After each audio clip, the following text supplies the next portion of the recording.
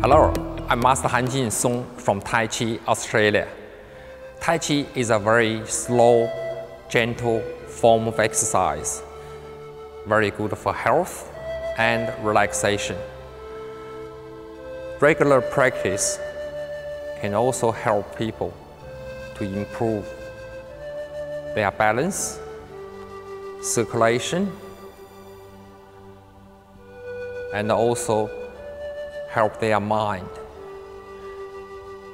You see, this slow, gentle movement can help to strengthen your legs and for better balance.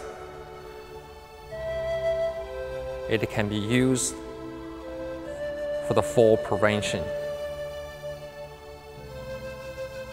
It's a very good form of exercise for fall prevention.